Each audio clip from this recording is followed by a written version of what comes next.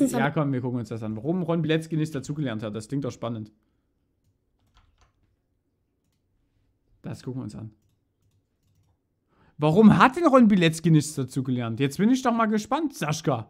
Komm, erzähl uns doch mal was dazu. habe ich einen Zuschauer von mir getroffen und er wusste nicht auf Anhieb, wer ich bin. Und da habe ich ihm Zeit gelassen und er meinte, jetzt weiß ich's, Pflanzi. Und da wusste ich, Pflanzi ist wirklich der heimliche Star dieser Videos.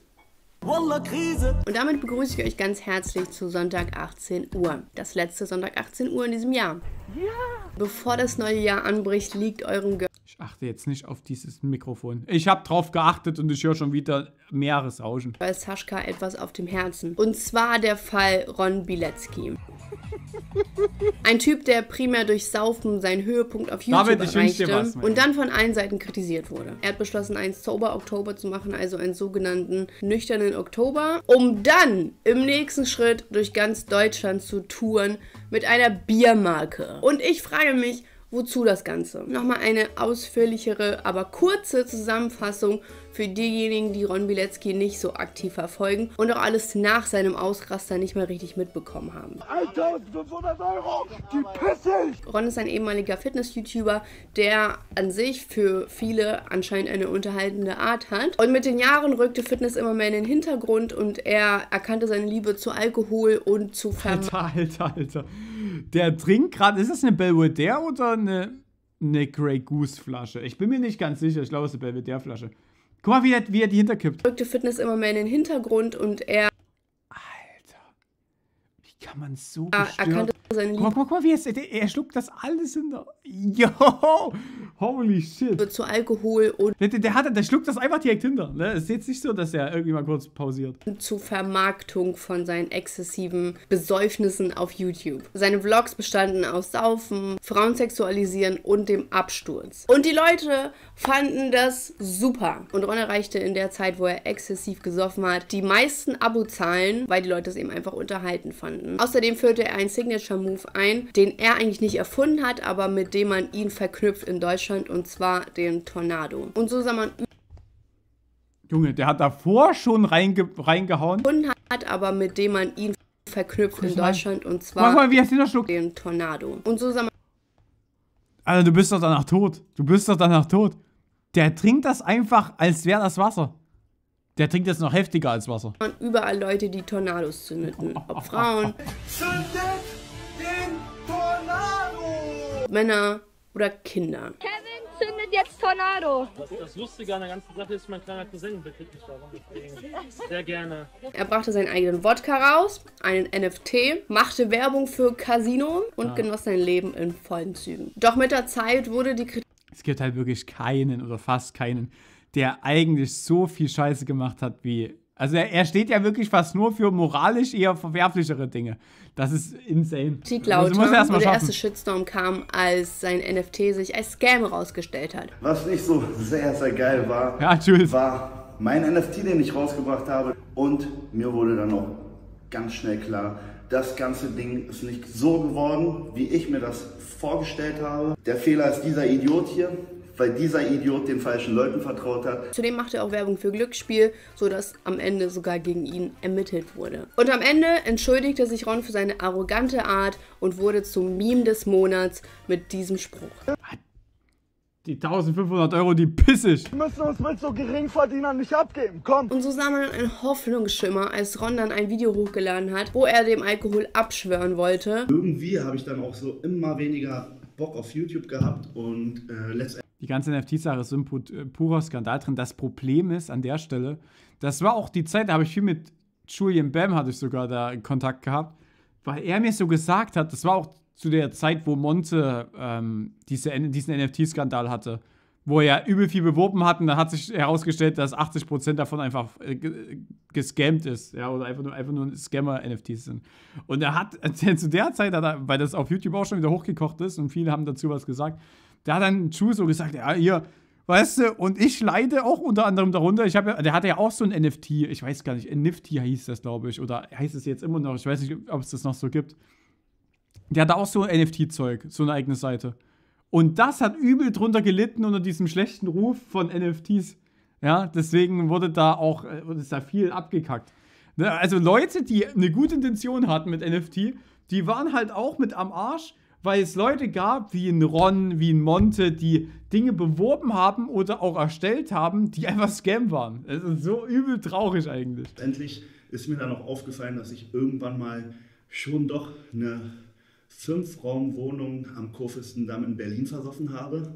In nicht allzu langer Zeit. Und ähm, das hat dann auch irgendwann mein Papa mitbekommen. Das ist das, was mir vermehrt aufgefallen ist, dass er bei dem Alkoholthema immer aufs Geld geht. Dass sein Vater das nicht gut fand, dass er so viel Geld versoffen hat. Dass er es nicht gut fand, dass er so viel Geld versoffen hat. Und das ist eigentlich nicht der springende Punkt, wenn du exzessiv Alkohol säufst, sondern dass es um deine Gesundheit geht. Kurz bevor wir hierher geflogen sind zum Sober Oktober. Digga, ich habe auch mittlerweile echt kein Blut mehr diese ganze Kohle aus dem Fenster zu schmeißen. Und im gleichen Atemzug bleibt aber Ron in seiner Rolle und sagt, hey, Business Ron is back. Aber Business Ron hat da eine Idee, denn ich lasse jetzt einfach die Clubs für mich bezahlen. 4.11., weiß ich jetzt schon mal, bin ich im Go-Park in Herford. Kommt gerne vorbei. Und in all den Videos, die kommen, klingt das alles so harmlos. Er hat nie zugegeben, dass er suchtkrank ist. Er hat das vielleicht eher bei Zigaretten zugegeben, aber nicht bei Alkohol. Zumindest habe ich das nicht gehört. Aber man hat deutlich gemerkt, dass er nicht mal die richtige Wahrnehmung dafür hatte, denn er hat das wirklich so massiv verharmlos in einem Interview mit Leroy. Ich meine, jeder hat bestimmt schon mal irgendwie mal ein Bier getrunken oder mal zwei. Ja. Oder mal eine Wodkaflasche mit, mit einer Wodka, Wodkaflasche in Tornado gezündet oder das einfach hintergeschluckt, als wäre das Wasser. Das hat jeder schon mal gemacht. Oder mal drei. Und dann wird man einfach so.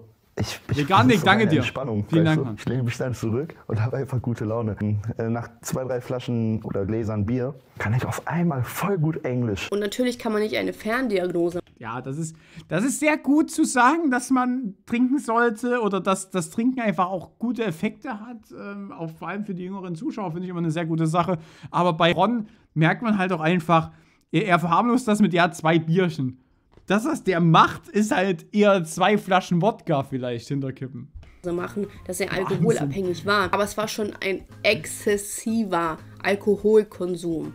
Und in seinem Video zittert er teilweise. Und wenn du über einen so langen Zeitraum Alkohol trinkst, dann geht das nicht spurlos an dir vorbei. Egal, ob du Pole bist oder nicht. Ich hatte keine Kraft dafür. Ja, ja. Und das war, glaube ich, das hat auch so ein bisschen mit diesem Rauchentzug zu tun, wenig Kalorien. Das war genau der Tag, wo es mir so scheiße ging, wo ich meinte, lass mal losfahren. Das kann auch vom Alkohol kommen, by the way, mit dem Herzrasen, ne? Ja. Äh, zum Beispiel Göhl meinte, es kann auch äh, äh, entzugserscheinungsmäßig sein, dass man sich das ein bisschen einbildet, weißt du. Ich fühle mich wieder meist, weißt du, man merkt. Ey, man sieht, du siehst so viel gesünder man aus, Real läuft Talk, wieder, Junge. Man läuft wieder gerade. Du hattest halt so Hänger dann auch. Du warst viel langsamer beim Reden und man hat doch gemerkt, dass du vorhin Wie war gemeint die Frage nochmal? Ja, genau. Und hast halt so mit einem Joke überspielt. Ich weiß nicht, wie es euch geht, aber irgendwie erwähnte er nie das Wort Alkoholentzug. Ja, es heißt Sober Oktober, also nüchterner Oktober. Aber ich habe das Gefühl, dass er gar nicht richtig zugeben will, dass er auf Alkoholentzug ist. Er sagt, dass er seine Grenzen kennen würde, aber im gleichen Atemzug sagt er, Real wieder, Junge. man läuft wieder gerade. und manches davon begründet er einfach mit Nikotinentzug. Das hat auch so ein bisschen mit diesem Rauchentzug zu tun, wenig Kalorien. Das war genau der Tag, wo es mir so scheiße ging. Wenn man sich das nicht selbst eingestehen kann, wie soll man dann glaubhaft seine Grenzen kennen? Daraufhin hat Business Ron aus seinem Sober Oktober eine ganze Vlogreihe gemacht, wo er das festgehalten hat, wie der Entzug sozusagen für ihn ist. Ich meine, wenn du dir vornimmst, einen ganzen Monat lang nüchtern zu sein, dann ist Ron ist mein Vorbild. Ich finde, da hast du dir ein gutes Vorbild rausgesucht, Rutan. Meins persönlich auch, weil die 1500, die pisse ich dann halt auch das einfach. meiner Meinung nach schon eine Art Entzug. Denn wenn es ja so einfach für dich wäre, dann müsstest du dir das nicht einen Monat lang vornehmen. Ich bin Mensch, ich glaube, ich kenne meine Grenzen. Und zuallererst dachte ich mir, okay, irgendwie cool, weil er kann so Leute animieren und Leute haben auch in den Kommentaren geschrieben, hey, du bist voll inspirierend und ich ziehe jetzt auch durch. Ich habe auch eine latente Neigung zu Alkohol und du motivierst mich einfach. Aber andererseits finde ich das dich. total absurd, dass man aus einem Entzug Vlogs macht und das wie eine Art Urlaub darstellt. In der Sonne, in Barcelona, man trainiert den Tag über, man spielt dann ein bisschen am PC und ihr könnt zugucken, wenn ihr wollt. Und Ron verdient damit halt ernsthaft noch Geld. Und vor allem, was mich in diesen Videos extrem stört, ist, dass in den wenigsten Admiral, bist ja Fällen ein verrückt, Entzug so aussieht. Du bist nicht in Barcelona in der Sonne und trainierst mit deinen Freunden und spielst dabei am PC. Man kann daraus Vlogs machen, wenn du vielleicht auch Aufklärungsmaßnahmen betreibst, wenn du vielleicht Links in die Infobox postest, wenn du sagst, hey, ich möchte aufklären, Alkoholkonsum ist in dem Maße nicht gesund. Aber ich kann verstehen, wenn die Meinung in diesem Aspekt unterschiedlich ausfällt, wenn manche sagen, hey, wenigstens tut er was, vielleicht kann er einfach nicht so gut drüber reden. Okay, kann ich noch alles akzeptieren, ist es ja meine Meinung, ne? Und das ist ja voll in Ordnung. Doch was das Ganze unglaubwürdig macht, ist eben, dass Business Ron nochmal dazwischen grätscht und nach diesem Sober Oktober einfach eine Clubtour macht mit Salitos. Junge, was? okay. Na naja, gut, man muss an der Stelle sagen, es heißt ja auch bloß Sober Oktober und nicht Sober Forever. Ne, das muss man natürlich auch an der Stelle sagen. Aber du, du, du willst wegkommen von etwas, ziehst das durch. Ich hoffe mal, er hat das auch richtig durchgezogen. Und machst danach instant weiter mit dem Ungesunden. Das ist natürlich etwas, das bringt dich wieder auf die richtige Spur, muss ich auch sagen.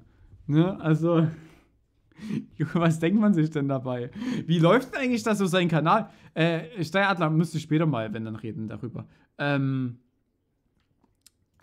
Ron Bilecki. Wie läuft denn sein Kanal? Ist er wieder, ist er wieder besser geworden? Oder, oder stärker geworden von den Klicks? Ja, man hat weniger Videos gemacht. 30, ja, aber ganz schön gute Klicks hier, ne? Hier eine halbe Million Klicks. Oh, das ist auf jeden Fall schon stark, weil eine Zeit lang hatte er nicht mehr so viele Klicks. Hier zum Beispiel 98.000, 175.000, 190.000. Hier stand auch so ein bisschen der Kritik.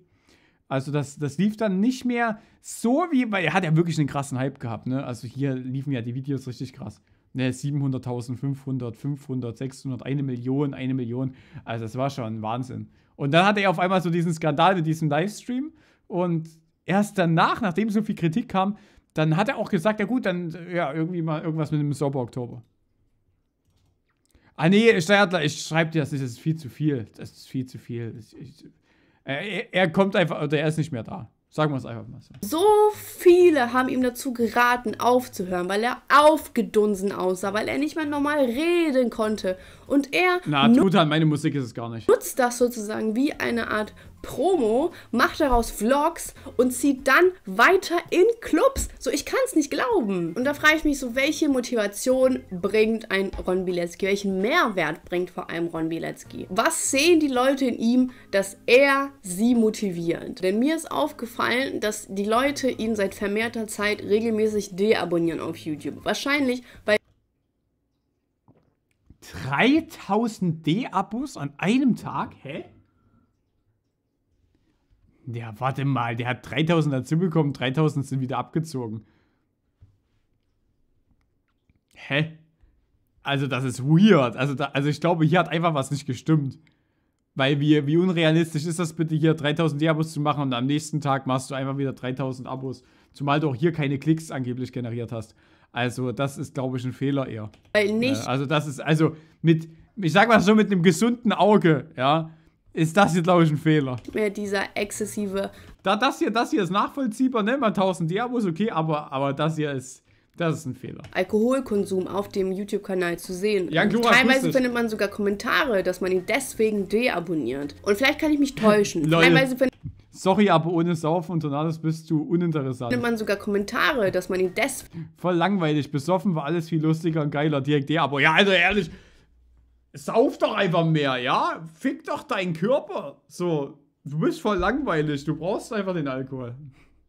Ist auch nice, dass die Zuschauer da mittlerweile schon so drauf getrimmt sind. Deswegen deabonniert. Und vielleicht kann ich mich täuschen. Vielleicht ist das hier alkoholfreies Bier, obwohl eigentlich Salitos meines Wissens nach kein alkoholfreies Bier hat. Dennoch, selbst wenn dieser Fall zutreffen sollte, dass alkoholfreies Bier ist, animiert Ron Bilecki eine große Masse an Leuten zu saufen. Und seitdem du kein Heroin mehr rauchst, seit wann raucht man denn? Okay, ist dein Content echt lame? Ja, definitiv. Ich kann es nachvollziehen zwar exzessiv zu saufen, weil eben so ein Tornado, ja, ein klar, ganzes Bier sich innerhalb von wenigen Sekunden reinzuschütten, das ist exzessives Saufen. Das ist kein normales Trinkverhalten. Und Ron ist dafür der Animateur. Ja, aber Ron hat mittlerweile einen Mittelweg gefunden. Ich lasse jetzt einfach die Clubs für mich bezahlen. Und deshalb war ich umso erstaunter, als ich dann diesen Post hier gesehen habe. Wo sind eigentlich die ganzen YouTuber, Streamer, Influencer und so weiter, die sich Sorgen um meine Gesundheit gemacht haben und es nur gut mit mir meinten? Keine Sau, zumindest ich nicht, hat sich Sorgen um deine Gesundheit gemacht, sondern um die Gesundheit deiner Zuschauer, um das, was du vermittelst. Wenn du saufen willst, dann mach es. Ja. Aber film das nicht und mach daraus einen Vlog und verdien damit Geld. So, wenn du ehrlich bist und sagst, ich habe ein Alkoholproblem, äh, dann würde ich das unterstützen. Dann würde ich vielleicht auch schreiben, hey, finde ich voll cool, dass du das machst und so. Nice. Aber du machst eine Clubtour. Wieso habe ich nicht von einem von euch eine Nachricht bekommen, dass ihr meinen Umschwung cool findet? Weil du eine... Stimmt allerdings. Also erstmal... Also ich muss erstmal, das, das könnte wie so ein Meme-Bild gerade sein. Also ich muss auch sagen, es hat sich halt wirklich niemand um Rons Körper interessiert. Es geht halt wirklich darum, was er halt vermittelt und wie er es vor allem macht. Das Problem ist, das ist selbst in meinem Freundeskreis angekommen, dass Leute den Tornado gezündet haben. Das hat mich ehrlich gesagt auch irgendwo ein bisschen enttäuscht. Vor allem mit Wodka das zu machen, ist ja sowieso einfach nur der Tod. Ne? Das ist einfach der Tod.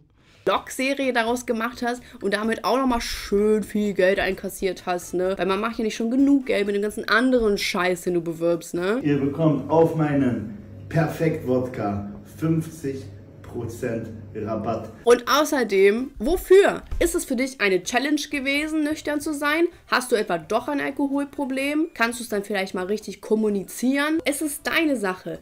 Du musst dich ändern. Aber wenn du nach 30 Tagen wieder anfängst zu saufen, oder selbst wenn du nicht säufst, sondern andere Leute dazu animierst zu saufen, sorry, aber was soll man daran cool finden? Was für einen Umschwung meinst du genau? Ich sag's euch mal, weil das alles profitgeile weil das alles profitgeile Loser sind, die sich nicht selbst an die Nase fassen möchten. Denk mal darüber nach. Ich kann den Gedanken natürlich verstehen, weil die profitgeilen Loser, inklusive mir natürlich, verdienen ja Geld damit, dass sie Videos auf YouTube machen. Aber was bist du? Du verdienst Geld damit, dass du dir dein Hirn wegschießt. Du verdienst Geld damit. Eigentlich ist es traurig, ne? Also wirklich, man muss bei Ron, muss man ehrlich sagen, das ist so mit der einzige YouTuber, der es wirklich geschafft hat, nur verwerfliche Dinge zu machen und trotzdem gefeiert zu werden für die Scheiße. Also ich meine, überlegt euch doch, doch das mal, was er alles gemacht hat. NFT-Scam. Also, also so krass, ne? NFT-Scam. Du hast Casino-Streamer. Also er ist Casino-Streamer gewesen oder ist immer noch Casino-Streamer. Vermarktet Wodka. Vermarktet weitere Alkoholsachen. Hat, hat, er, hat er noch irgendwo, aber das, das sind so diese, dafür wird man eigentlich schon sehr stark kritisiert, aber er wurde immer gefeiert. Also überlegt euch doch mal diesen Skandal rund um äh, Orange Morange und Skurrows. Klar, die haben sich auch noch mal ein bisschen dümmer verhalten, aber also so kommuniziert. Aber bei Ron wird das einfach gefeiert und der hat so immens viel Scheiße gemacht. Der hat so viel Müll gemacht, das ist Wahnsinn. Ja, die Tornado-Karte, das war ja, glaube ich, das in diesem NFT-Ding. Ich dachte, das war mit in diesem NFT-Ding damit, dass du Leute dazu treibst, Alkohol zu trinken. Ron macht Werbung für Glücksspiel, für illegales Glück. Gut, dass sie es hier nochmal zeigt. Glücksspiel. Wer ist. Ich auf Österreich? Warte, ganz kurz. Ron macht Werbung für Glücksspiel, für. Warte, warte, warte. Hier zwei Lose zum Preis und eins. Dieser Link ist für meine Freunde aus Österreich. Einfach Österreich, was zum Teufel? Illegales Glücksspiel. Wer ist der profitgeile Loser? Jetzt mal ehrlich. PS, schätzt die Leute, die in schlechten Zeiten hinter euch stehen. Viele von euch haben auch dazu gehört. Danke dafür. Stell dir mal vor, wir machen Tornados mit unserem eigenen Tornado-Bier. Und dann hat mich irgendwann so ganz plötzlich Tim Gabel angerufen und meinte, er hat Nico überzeugt, das zusammen zu machen. Tim war das? Ja, Tim Gabel. Freunde, die einfach Geld daraus machen, dass du deinen Konsum weiterhin stabil hältst. Ich meine, die Leute fanden es einfach lustig, dass du dich unter den Tisch säufst und irgendwas Seltsames laberst. Und das findet man super, das nennt man dann hinter einem stehen. Und generell frage ich mich, worauf man bei Ron eigentlich stolz sein sollte. Erstes Gesicht der Venus. Aaron Troschke und Mark Eggers gefällt das. Kann man seine eigene Meinung zu haben. Er macht eine Clubtour mit einer Biermarke, wo er mit Jugendlichen säuft, die ausrasten, wenn sie einen Mann sehen, der wie 34 aussieht, obwohl er eigentlich 24 ist. Er ist 24, Alter. Also man muss an der Stelle sagen, er hat echt viel Geld gemacht mit 24, aber gut, theoretisch, ich könnte auch echt viel Geld machen mit 23, ich bin auch bald 24. Wenn ich einen Casino-Deal annehmen würde, glaube ich, würde ich mittlerweile sogar ganz gutes Geld machen. Aber irgendwie, keine Ahnung, ich würde es jetzt nicht so fühlen, sage ich euch ehrlich. Aber ich habe wahrscheinlich auch ein anderes Bewusstsein, als es ein, ein Ron hat, ne, was Verantwortung angeht. Aber Gott, ja, das ist so krass. Ne? Vor allem hat er eigentlich auch, durch Fitness hat er eigentlich auch schon viel erreicht gehabt. Aber ja. Das ist dann draus geworden. Ja, viel Geld, nicht gutes Geld. Okay, ja. Überstimmt.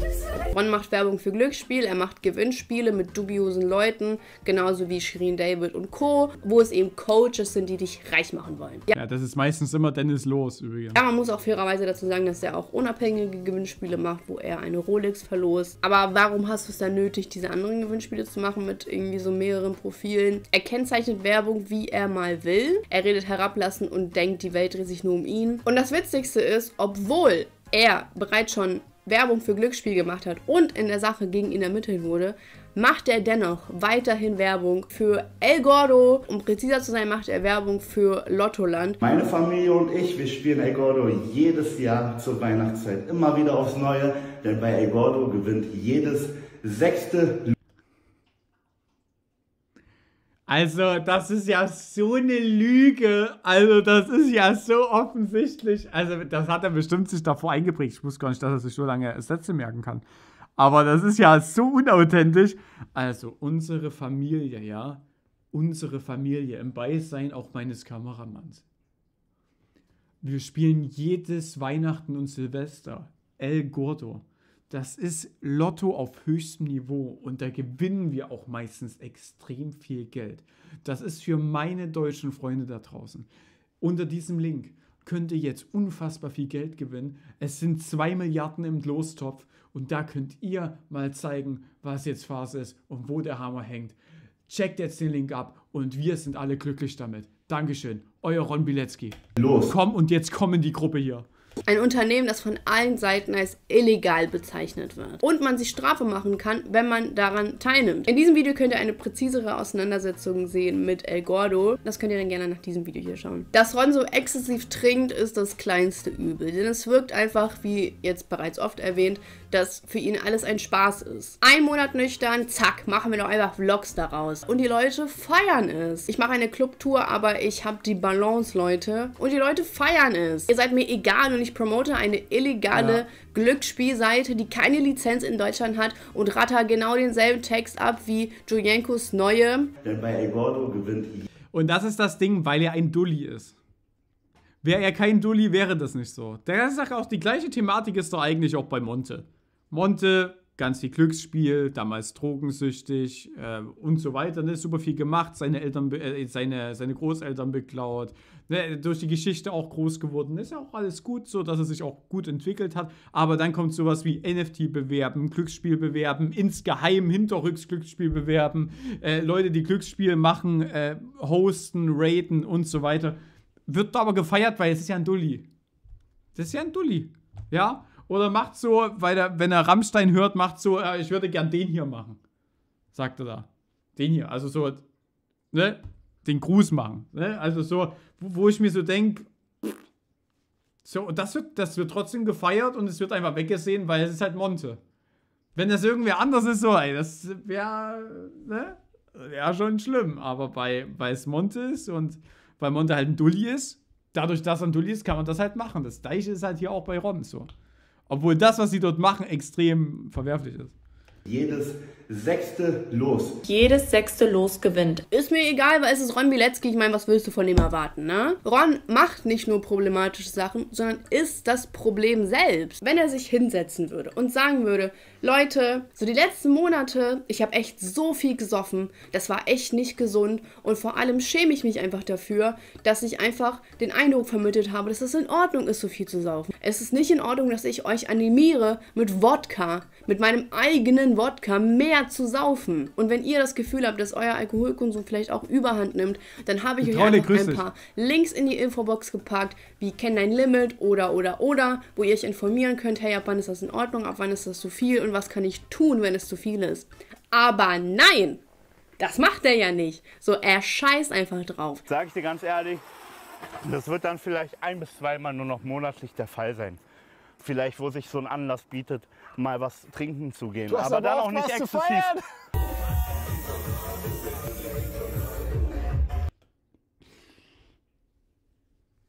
Naja, vielleicht ist das jetzt das eine Mal im Monat. Ne? Wir wollen es jetzt mal nicht so schlecht reden.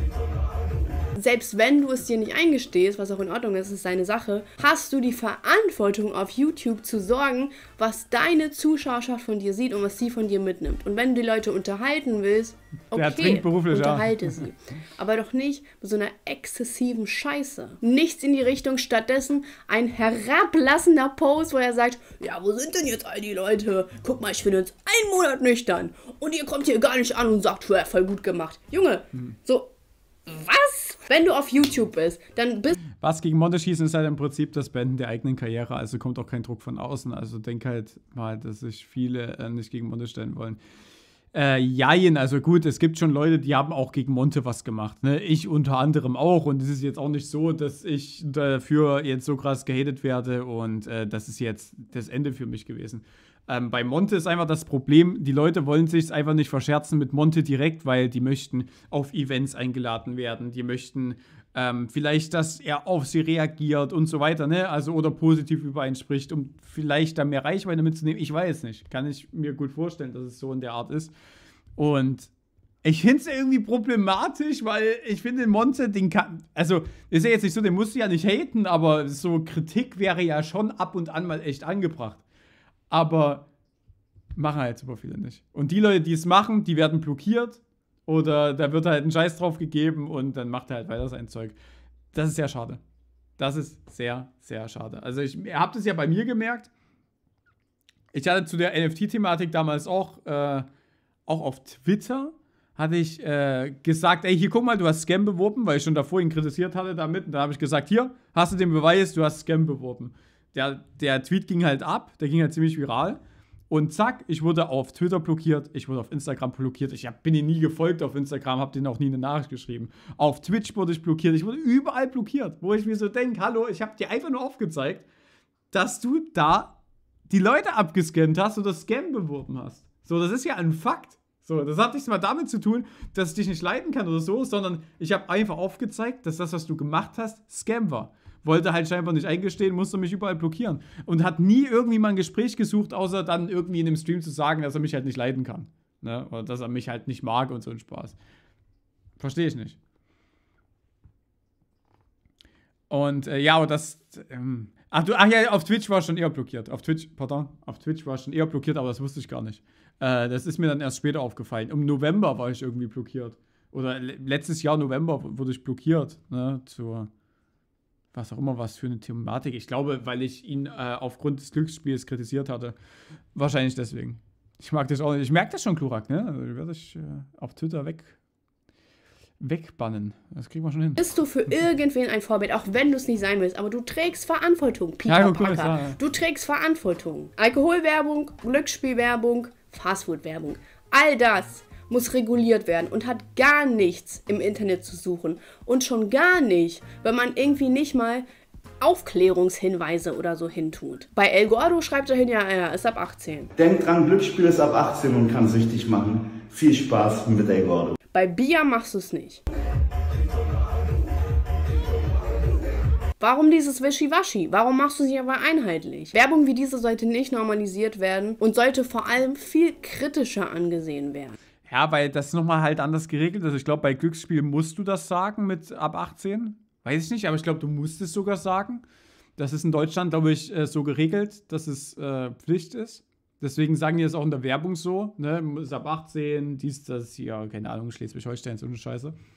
Und bei Alkohol, dass es auch teilweise ab 16 ist, weiß ich nicht, inwiefern du es da sagen musst. Ne? Ich glaube auch, das, was er dort beworben hat, dieses Salitos, ist wahrscheinlich eine Bioart oder so und es wird wahrscheinlich sogar ab 16 sein. Und wenn du Anerkennung dafür willst, dass du nicht mehr säufst, solltest du nicht die Erwartung haben, dass Leute zu dir kommen und sagen, Boron, das hast du so super gemacht, ich bin so stolz auf dich, weil wir sind nicht deine Freunde. Wir sind alles nicht deine Freunde. Und mir ist es so egal, was mit Ron Bilecki passiert, aber mir ist es nicht egal, was er auf YouTube vermittelt. Wenn du irgendwelche anderen Süchte ausleben willst, mach das. Mach das privat. Aber geh mir nicht auf die Eier hier.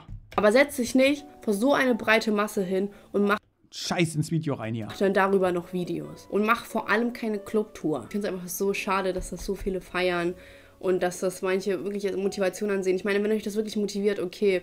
Aber er ist halt ein Widerspruch in sich. Und das finde ich halt alles sehr fragwürdig. Aber gerne könnt ihr mir eure Meinung dazu schreiben. Schreibt mir alles, was ihr wollt und dann sehen wir uns im nächsten Jahr. Gehen auch Beleidigungen? Nee, ich mach das mal freu nicht. mich Ja. auf euch. Lasst mir gerne ein Abo da. Zweiter Advent. Nein, ich wollte nie woanders hin. Das kotzt mich bei YouTube so an. Auf einmal bin ich in einem anderen Video drin. Letz- Da wollte ich nie hinklicken. Ich finde es gut, dass sie es so offen und ehrlich anspricht.